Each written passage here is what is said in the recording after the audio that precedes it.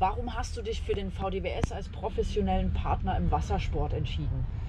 Ja, warum habe ich mich für den VDWS entschieden? Also, wenn ich den VDWS so sehe, natürlich, ich komme aus Deutschland, der ist da sehr präsent, ähm, gerade im Wassersport.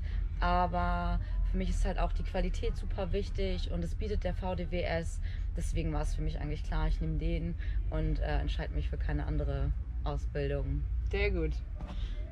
Willkommen in der Wassersportszene. Yay! Welche Dinge hast du für dich als doch schon erfahrene Kitesurferin im Instructor-Kurs noch dazugelernt? Also was mir total schnell aufgefallen ist, dass so ein Unterricht total kleinschrittig strukturiert ist, ähm, immer so Step by Step aufgebaut ist und das eigentlich auch super wichtig ist.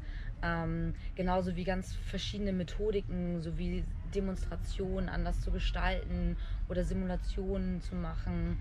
Also das war schon super schön. Natürlich auch ein großer Aspekt immer an Erklären damit bei, aber auch die Sicherheit, ähm, das wiegt sich nochmal ganz anders auf. Natürlich, man ist immer vorsichtig in dem Sport.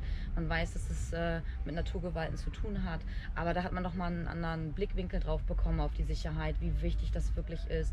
Und auch für die Schüler, dass man diese Verantwortung halt auch einfach trägt. Das war sehr schön. Und auch diese ganzen Lehrproben, die wir gemacht haben, waren auch wahnsinnig hilfreich, das auch mal selber zu erleben und zu machen. Das war schon schön anzusehen und auch super gut gestaltet.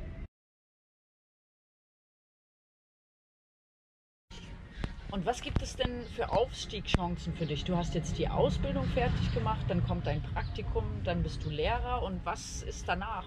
Wo geht es nach oben? Also es war mir vorher gar nicht so bewusst, was man damit eigentlich alles machen kann. Ich dachte so Kite-Lehrer, ja, du bist mal Kite-Lehrer. Ähm, aber man kann Tatsache ja auch Praktikantenausbildung mit einem gewissen Erfahrungsstand nachher und auch ähm, Stationsleiter zu werden und ähm, was war das andere noch?